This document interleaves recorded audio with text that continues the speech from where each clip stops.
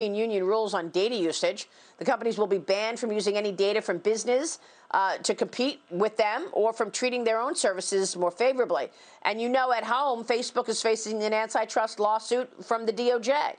What impact will all of this have, you think, on these big tech stocks where we continue to see money moving into tech?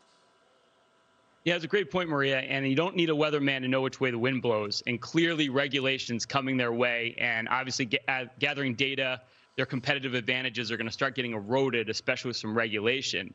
Now, where this can be really, really dangerous is if you look at retail investors specifically, they all own the S&P 500. In fact, we've seen 30 billion go into S&P 500 index funds this year, and the reality of it is it's all driven by big tech. So, you know, I've joked that the S&P has become a tech fund and drag. It's about 40% tech now when you factor Amazon in there as well. So I think the problem here is if you're looking at that reopening of the economy, we've talked a lot about this. I'm very bullish on the reopening of the economy.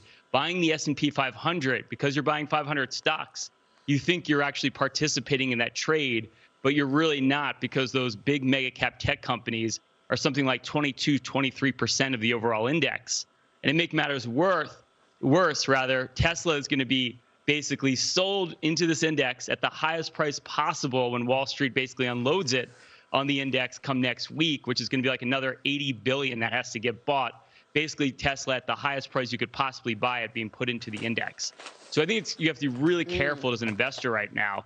You have to diversify your money, and I see this all the time. And we probably look at like, I don't know, maybe 50 portfolios a month, and most retail investors are overweighted in tech stocks and overweighted in the S&P 500. And you've got to really diversify right now if you want to participate in the reopening of the economy. Yeah, and I think this is a really good point. Uh, and in that same vein, when you know where the wind is blowing, would you buy ch- indexes that hold Chinese stocks right now, knowing the executive order that the president is putting down to ensure that the U.S. is not funding the growth of China's military through buying these Chinese companies that are tied to the Chinese Communist Party military? Um, I'm going to go on a limb here and say yes. I think you have to have a global portfolio right now. I think you can't ignore China with 1.4 billion people. And it's really hard to get around it. I mean, everyone benefits from the fact that we're all selling to China, whether in, you're in the US, you're in Europe. And at the end of the day, their growth rates are faster, even if they're not exactly accurate, as you mentioned earlier. Uh, and if you look at well, valuations. Everyone benefits. You say everyone benefits except those companies that are getting their data stolen.